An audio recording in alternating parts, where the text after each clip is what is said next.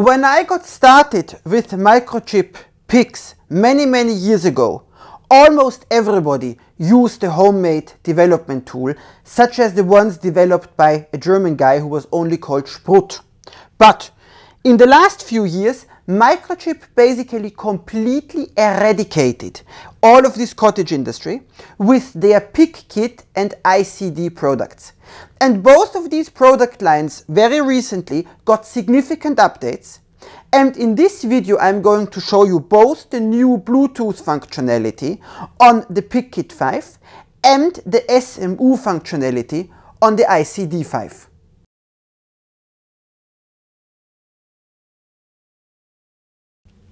So, and in the first step, let's cut into this really oversized box of goods around here.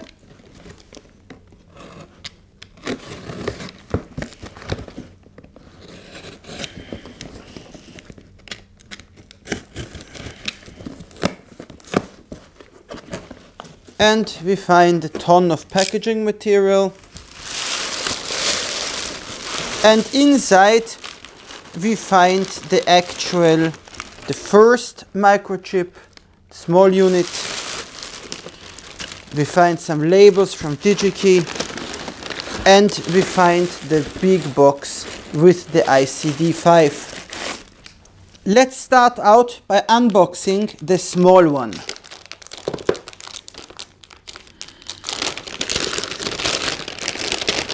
We see here the anti-static bag is still from DigiKey and now we are getting into the actual microchip territory and we see a very nice, quite compact little black box. Let's cut into it here in the back.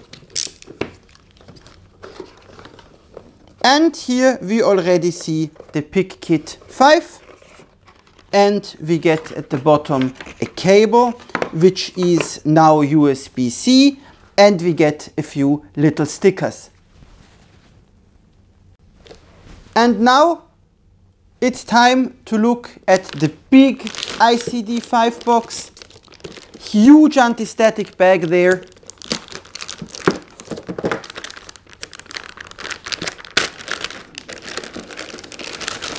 Also it's a huge, very, very large box. And now we have to cut into it again we cut here into it. You see this thing? Now we are here.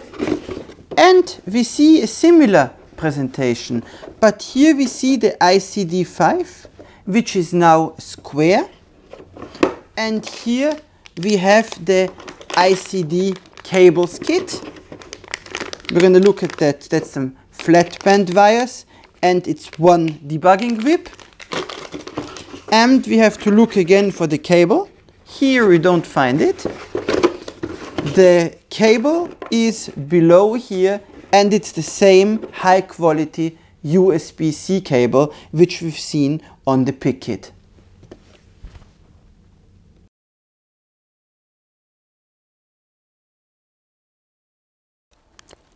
The first cool feature is the ability to deploy multiple different programs via this push button. For this, of course, in the first step, here you need to insert a memory card formatted with FAT. Basically just about any memory card size will do because these programs usually are very very small. And what is important in the next step, you see here, you need to use a recent version of MPLAB X. I'm using 6.15 here, but in general, the more recent, the better. And now in the next step, we can go here into the properties.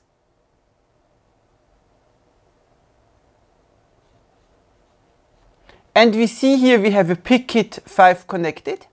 And now here with Programmer to go, we can give an image name and then we can send the image to the tool.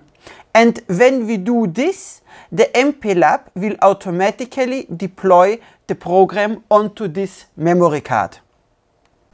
So, and now I've got the thing connected to a stupid power supply and I can start the MPLAB PTG application like so. and we see that it is running a Bluetooth LE scan. Sometimes, of course, permission dialogues pop up and you need to make sure that the Bluetooth option is switched on. And yes, currently there is a bug you see here. It finds the thing, so you have to click no, and only then you can connect. And now you see here, I've got the option micro SD card ready to browse. I go browse SD.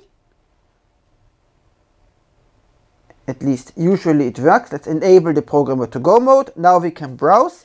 And now we see here two images which I've loaded before. And we can select one of these images and then you see here it is ready to program. So then the worker just has to plug it in and click program and will deploy. And this is a great simplification, especially when you do a lot of assembly with relatively unskilled workers.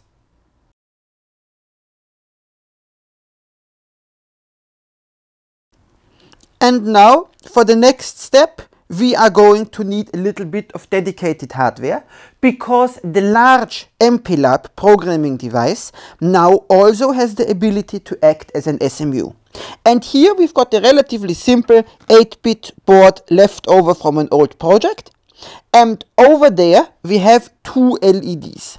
And the idea is going to be that we're going to load different programs.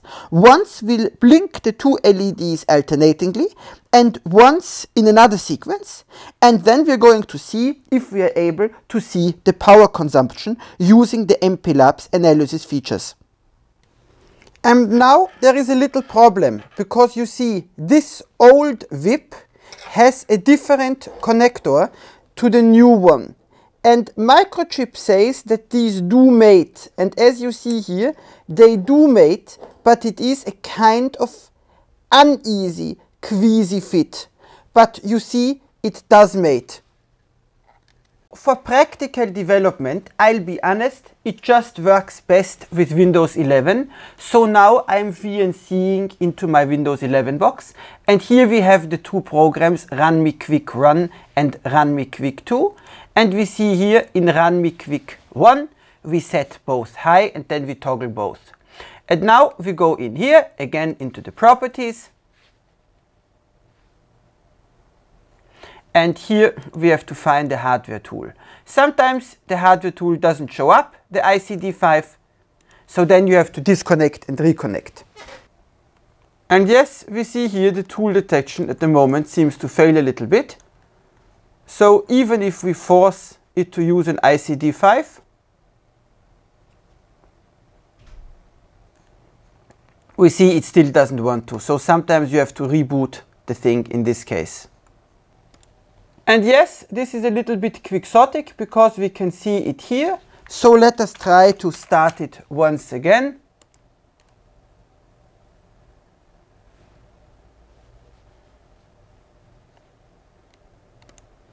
Here it offers us this update, but we don't want that for now.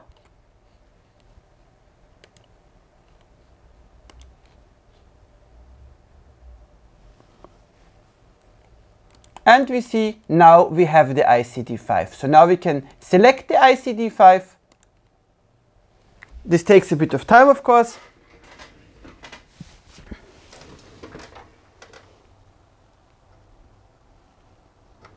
We can connect.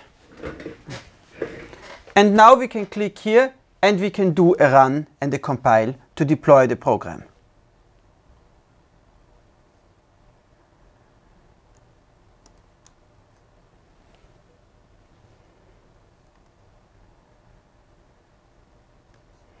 Yes, this is the usual blah blah blah. If we get this warning here, then we know it's a kind of crappy connection. And now we see the LEDs blink already. Like so, we see the LEDs blink. And now we want to perform a power analysis. For this, we go here into the MPLAB data visualizer, which is a component which also sometimes crashes, so you need to bring some patience. And now here we click the power, we say plot raw, we close it, and now here we see the power coming up and down as you see here. And yes, it is synchronized to the light emitting diodes. And in practice, of course, you would be well advised when you are running this from a laptop, like I'm doing here, to plug in an external power supply, because in that case, more power is made available, especially on these MSI units. But either way, we see here, we have the power analysis working flawlessly.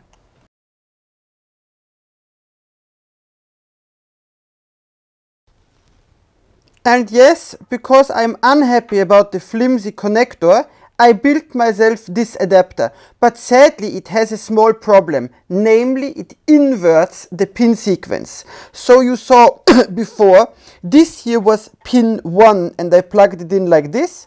If you want to use the adapter, you have to plug it in opposingly. So pin 6 goes into pin 1. And now we see that it works again. I mean, this is a bit of a stupid design, I admit it, but I believe it makes life quite a bit easier than having to mess around with this connector here. And yes, I'm going to share the Gerber files, so if any one of you ever wants to take a shot, this is the thing to use.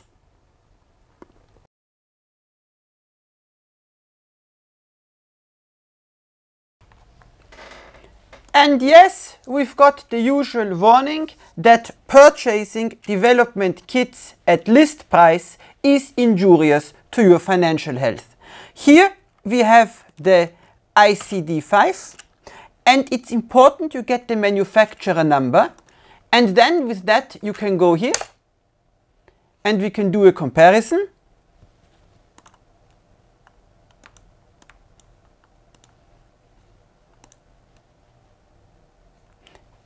We see that the cheapest offer is around 358. The most expensive is 438. So this is quite a spread. And if we take the smaller one,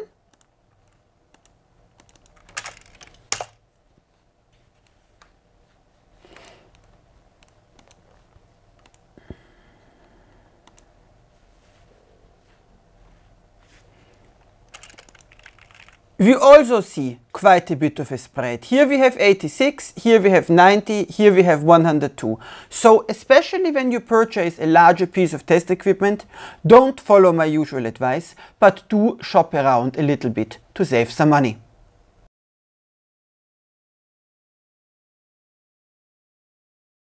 And yes, with that, I wanted to thank you. If you want to make me happy, maybe buy a copy of my book for a cadet for Christmas. And I'm thankful for you watching this and see you next time. Bye bye.